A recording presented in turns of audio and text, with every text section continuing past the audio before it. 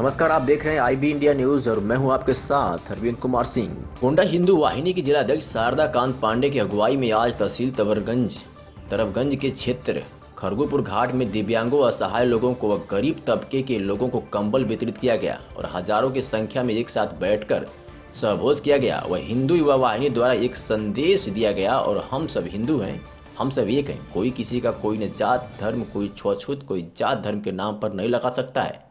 कोई जनजातिवाद के नाम पर राजनीति नहीं कर सकता है। कार्यक्रम के मुख्य अतिथि कटरा कुट्टी धाम के महंत स्वामी चिन्या नंद व वहीं तहसील तबरगंज के तरफगंज के विकास खंड के एडीओ पंचायत व हिंदू वाहिनी के सभी पदाधिकारी इस अवसर पर मौजूद रहे।